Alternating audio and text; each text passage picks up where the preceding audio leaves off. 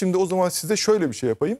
Ee, bişektomi diye bir operasyonumuz var. Hı hı. Bu operasyon aslında tombul yanaklarda bir fotoğraf vardı bildiğim kadarıyla. Var mı arkadaşlar? Hemen var. getirelim süremiz doluyor Aha. çünkü. Şimdi Ben bakın. hayatımda bu kadar güzel anlatan başka bir diş hekimiyle daha karşılaşmadım valla. Nasıl ilgiyle izliyorum? Çok- Buyurunuz. Çok teşekkür Gözlerinizden anlaşılıyor. Sağ, Sağ olun. olun. Şimdi bakın şöyle. Yanak bölgesinin tombul olma durumu düş- diye düşünün.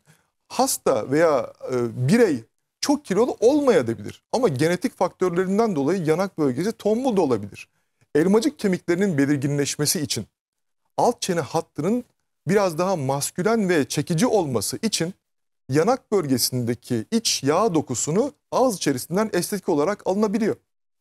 Bu tür durumlarda yanak bölgesinin içeriye doğru geçtiğini, e, elmacık kemiklerinin belirginleştiğini, e, çene hatlarının tam güzel bir şekilde belirgin hale geldiğini ve daha çekici formata geldiğini görebiliriz. Biz de istiyoruz ki çekici olsun, e, Sağlıklı olsun, sağlıklı olsun, hepsi Güzel beraber olsun. olsun. Tabii. Evet, Çünkü evet, evet. her şey şu yüzde başlıyor. Bence bir insanın en güzel aksesuarı gülümsemesi. Evet. E, gülümsemek nasıl oluyor? Sağlıklı ve güzel dişlerle oluyor. Evet. Profesör Doktor Birkan Özkan. Bazı hekimler var ki bir kenara not almak gerekiyor ismini.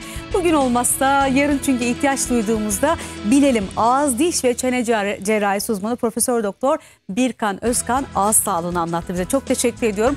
Sosyal medyanızdan seyircilerimiz ulaşsa cevaplarsınız Tabii ki, inşallah. ne demek, tabii ki. Ee, Olabilir, Birkan elbette. Özkan diye mi sosyal medya Evet, hesabınız? DR Birkan Özkan Evet, Profesör. Doktor Birkan Özkan. Çok teşekkür ediyorum hocam. Çok sağ teşekkür olun. ederim. İlginize, Yarın görüşmek üzere.